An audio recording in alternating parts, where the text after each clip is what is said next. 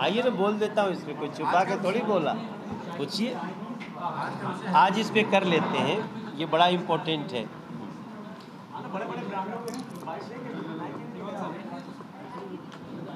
हाँ इसकी ज़रूरत नहीं है।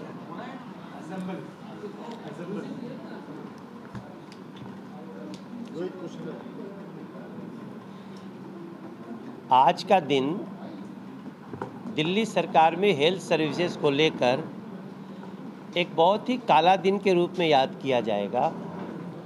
जब दिल्ली सरकार में, दिल्ली सरकार के मुख्यमंत्री और सरकार ने स्वयं ये मान लिया कि सरकारी अस्पतालों का सारा तंत्र फेल हो चुका है।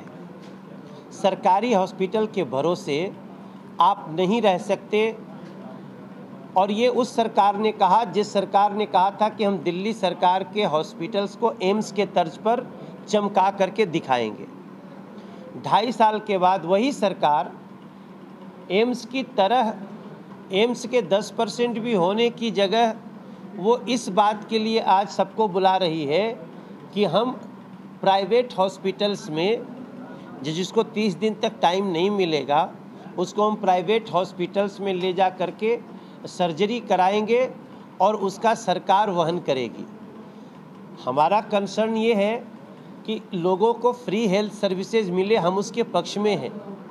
लेकिन ढाई साल बाद आपने अचानक सरकारी तंत्र को फेल क्यों कर दिया?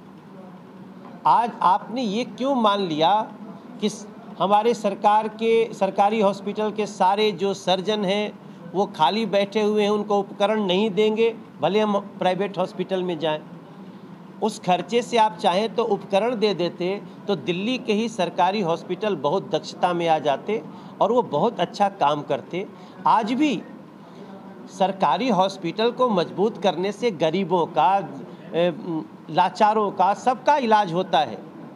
और ये सारा कुछ किया है बिना किसी ब्लूप्रिंट के तो हम आज एक सवाल उठाए हैं कि भारतीय जनता पार्टी अरविंद केजरीवाल जी से जानना चाहती है कि ये घोषणा के अंतर्गत ब्लूप्रिंट क्या है? लोगों को आप किस प्रकार, किस एग्रीमेंट के तहत ये बातें कह रहे हो?